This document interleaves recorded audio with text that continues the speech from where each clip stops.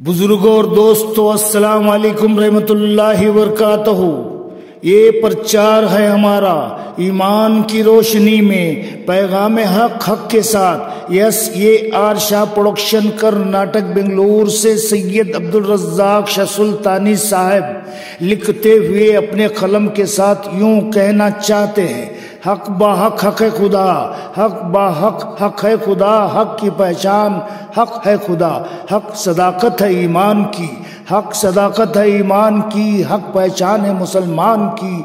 हक तोहीद है, हक रिसालत है, हक आवाज़ है कुरान की। हक हकीकत है दीन और इस्लाम की। हक कलमा है हमारा, हक कलमा है हमारा। ला इलाहा मोहम्मद रसूल अल्लाह के सिवा कोई मबूद नहीं। अल्लाह के सिवा कोई मबूद नहीं, मोहम्मद मुस्तफ़ा सल्ला अलैहि अल्लाह के रसूल है। हक की सदाकत बुलंद है। हक की सदाकत बुलंद है, बुलंदियों से भी ज़्यादा। कलमे की नस्बत ईमान हमारा, कलमे की नस्बत ईमान हमारा मज़बूत है, चट्टानों से भी ज़्यादा। बुज़ुर्गों और दोस्त जब बात ईमान की आती है, बुज़ुर्गों और दोस्त जब बात ईमान की आती है तो याद हमको हमारे अमाल की आती है, क्या हमने कोई ऐसा काम किया है?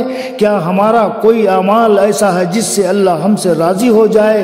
तो अल्लाह फरमाता है ए ईमान वालो ए ईमान वालो ए मेरे मोमिन बंदो, तुम मुझे याद करो, मैं तुमको याद करता हूँ। तुम मेरी तरफ़ बढ़ो, मैं तुम्हारी तरफ़ बढ़ता हूँ। तुम मुझसे फरियाद करो, मैं तुम्हारी फरियाद सुनता हूँ।